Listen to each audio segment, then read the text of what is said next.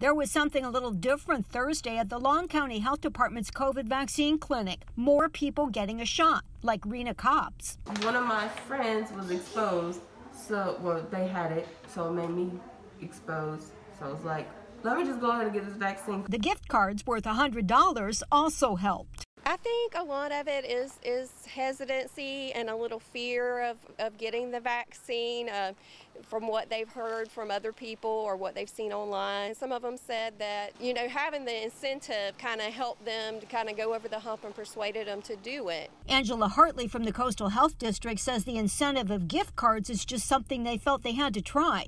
That's because the vaccination rate here is just 19 percent.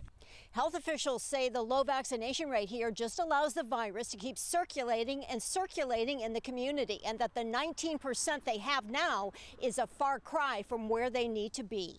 That's a long way from developing herd immunity, and herd immunity would would cause this to, to stop circulating. So the shots were given and the gift cards distributed.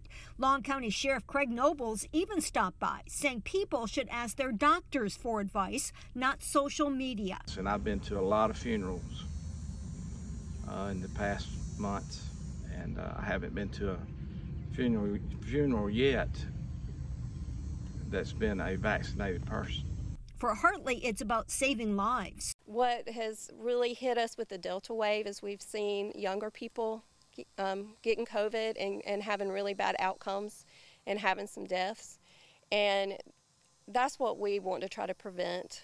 30 and 40 year olds dying of COVID, we shouldn't have that happening. And, and it's very heartbreaking that that's happening. Joanne Merrigan, WSAV News 3 on your side.